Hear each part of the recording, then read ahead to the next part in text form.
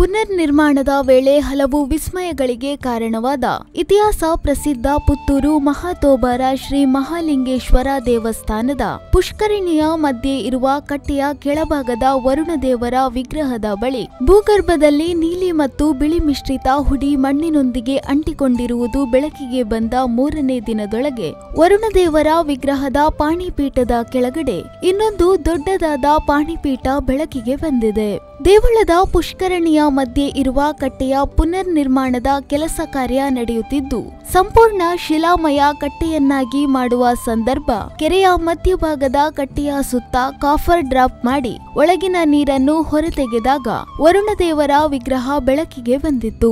ಅದಾದ ಬಳಿಕ ವರುಣದೇವರ ವಿಗ್ರಹದ ಕೆಳಗಡೆ ಪಾಣಿಪೀಠ ಬೆಳಕಿಗೆ ಬಂದಿತ್ತು.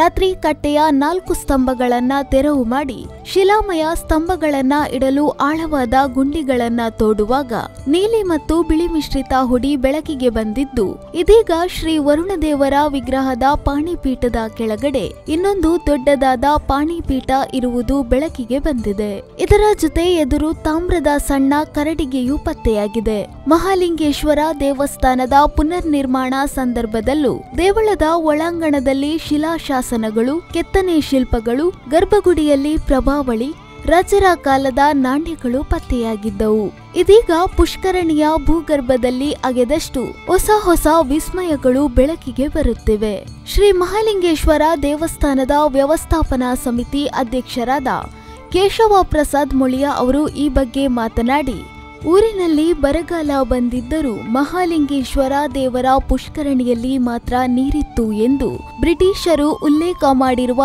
ದಾಖಲೆ ಇದೆ. ಅಂತಹ ಸಂದರ್ಭದಲ್ಲಿ ಈ ಪುಷ್ಕರಣಿಯಲ್ಲಿರುವ ವರುಣದೇವರ ಪಾಣಿಪೀಠದ ಕೆಳಗೆ ಇನ್ನೊಂದು ಬೃಹತ್ ಪಾಣಿಪೀಠ ಗೋಚರ ಆಗಿದೆ. ಪ್ರತಿ ದಿವಸವೂ ಕುತೂಹಲಕಾರಿ ವಿಚಾರ ಇಲ್ಲಿ ಬೆಳಕಿಗೆ ಬರುತ್ತಿದೆ. ವರುಣದೇವರು ಪುತ್ತೂರು ಹತ್ತೂರಿಗೆ ಕಾಲಕಾಲಕ್ಕೆ ಮಳೆ ಕರುಣಿಸುವ ಮೂಲಕ ಅನುಗ್ರಹ ಕರುಣಿಸುತ್ತಾರೆ. ವರುಣನ ಪೂಜೆಗೆ ದೇವರು ಅನುಗ್ರಹ ಕರುಣಿಸಲಿದ್ದಾರೆ ಎಂದರು.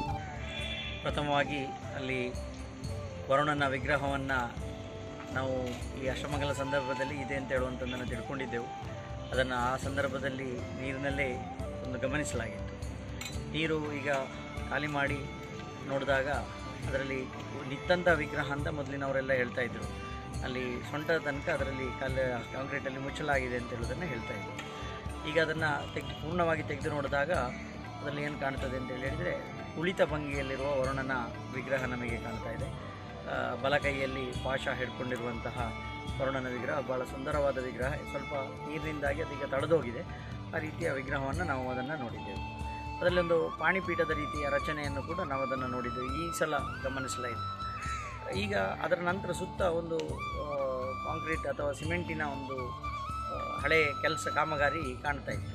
ಅದನ್ನು ತೆಗೆದು ಈಗ ಶಿಲಾಮಯ ಪುನಃ ಅದನ್ನು ಶಿಲಾಮಯ ಅದೇ ರೀತಿಯ ಒಂದು ಕವ್ ಒಂದು ಮುಚ್ಚಿಗೆಯ ರೀತಿಯಲ್ಲಿ ಮಾಡುವ ಸೈಡಿನಲ್ಲಿ ಮುಚ್ಚಿಗೆ ಅಲ್ಲ ಅದು, ಸೈಡಿನ ರೀತಿಯಲ್ಲಿ, ಸೈಡಿನಲ್ಲಿ ಒಂದು ಇದರ ಸೊಂಟಕ್ಕೆ ಬರುವ ರೀತಿಯಲ್ಲಿ ರಚನೆ ಇದ್ದ ರೀತಿಯಲ್ಲಿ ಇಟ್ಟುಕೊಳ್ಳುವ ಅಂತ ಹಳೆಯ ಕಲ್ಲು, ಮುರಕಲ್ಲಿನಲ್ಲಿ ಮಾಡಿದ ಕಾಮಗಾರಿ, ಅದರ ಮೇಲೆ ಕಾಂಕ್ರೀಟ್ ಹಾಕಿದ ಕಾಮಗಾರಿಯನ್ನು ತೆಗೆದು ಮುಂದೆ ಪುನಃ ಕಲ್ಲಿನಲ್ಲಿ ಇಡುವ ಅಂತ ಹೇಳೋದನ್ನು ನಾವು ಇವತ್ತು ತೆಗೆದಾಗ, ಇವತ್ತು ನಮಗೆ ಅಲ್ಲಿ ವಿಶೇಷವಾಗಿ ಪುನಃ ಇನ್ನೊಂದು ಕಲ್ಲಿನ ರಚನೆ, ಪಾಣಿಪೀಠದ ರೀತಿಯ ರಚನೆಯನ್ನು ನಾವಲ್ಲಿ ನೋಡ್ತಾ ಇದ್ದೇವೆ.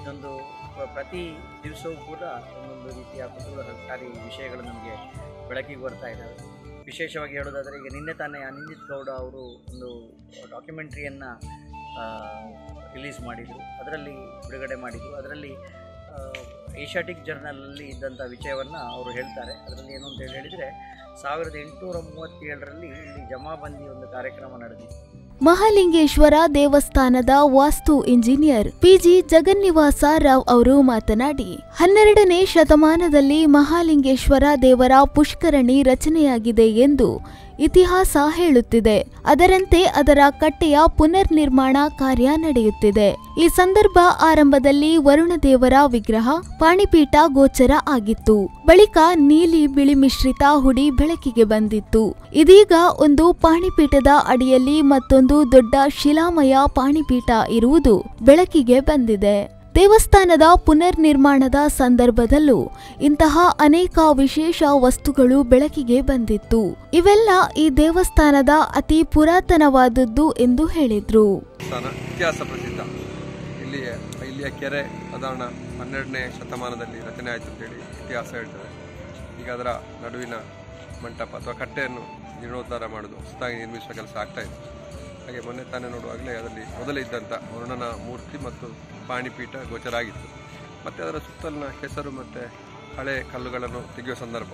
ಇವತ್ತು ನೋಡುವಾಗ ಒಂದು ಪಾಣಿಪೀಠದ ಅಡಿಯಲ್ಲಿ ಮತ್ತೊಂದು ದೊಡ್ಡ ಪಾಣಿಪೀಠದ ಒಂದು ರಚನೆ, ಶಿಲಾಮಯ ಪಾಣಿಪೀಠದ ರಚನೆ ಇವತ್ತು ಕಾಣಲಿಕ್ಕೆ ಸಿಕ್ಕಿದೆ. ಹಾಗೆ ಒಂದೊಂದೇ ಕುತೂಹಲಕಾರಿ ಒಂದು ವಸ್ತುಗಳು ಸಿಕ್ಕುವಂಥದ್ದು. ಒಂದು ದೇವಸ್ಥಾನದ ನಿರ್ಮಾಣ ಸಂದರ್ಭದಲ್ಲೂ ಕೂಡ ಹಾಗೆ ಕೆಲವು ಹಳೆಯ ನಾಣ್ಯಗಳಿರ್ಬೋದು. ಮತ್ತು ಅಲ್ಲೂ ಕೂಡ ಹಾಗೆ ಒಂದು ತಾಮ್ರದ ಒಂದು ಕರಡಿಗೆ ಸಿಕ್ಕಿದೆ, ಒಂದು ಖಾಲಿ ಕರಡಿಗೆ. ಅಂಥದ್ದು ಏನೆಲ್ಲ ವಸ್ತುಗಳು, ವಿಶೇಷ ವಸ್ತುಗಳು ಸಿಗ್ತದೆ. ಅಂದರೆ ತುಂಬ ಇದು, ಇದನ್ನು ಏನು ಹೇಳ್ತದೆ ಅಂತ ಹೇಳಿದ್ರೆ ಈ ದೇವಸ್ಥಾನದ ಇತಿಹಾಸ ಅತ್ಯಂತ ಪುರಾತನವಾಗಿದೆ ಅಂತ ಹೇಳೋದನ್ನು ನಾವು ತಿಳ್ಕೊಳ್ಬೋದು. ಹಾಗೆ ಮೊನ್ನೆ ನೋಡಿದಂಥ ಒಂದು ಮಣ್ಣು, ಅದನ್ನು ಒಂಥರ ನೀಲಿ ಮಿಶ್ರಿತ ಒಂದು ಮಣ್ಣು. ವಿಶೇಷವಾಗಿ ಅದರಲ್ಲಿ ಯಾವುದೇ ಹರಳುಗಳಿಲ್ಲದಂಥ ಒಂದು ಮಣ್ಣು ಸಿಕ್ಕಿತ್ತು.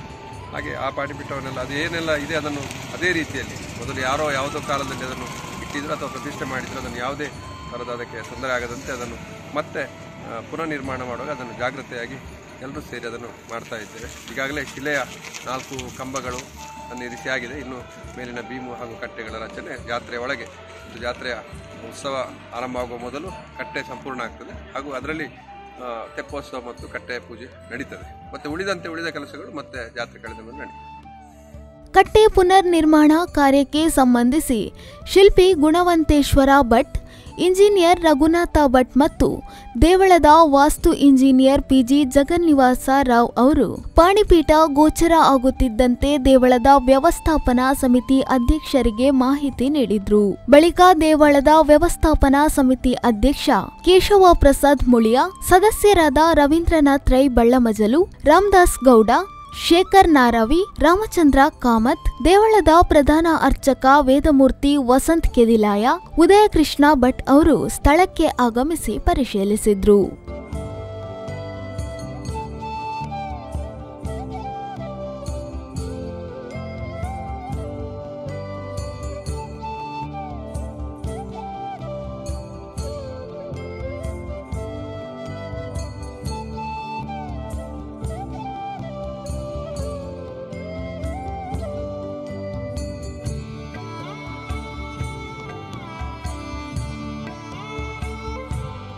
Anish V four news Puttur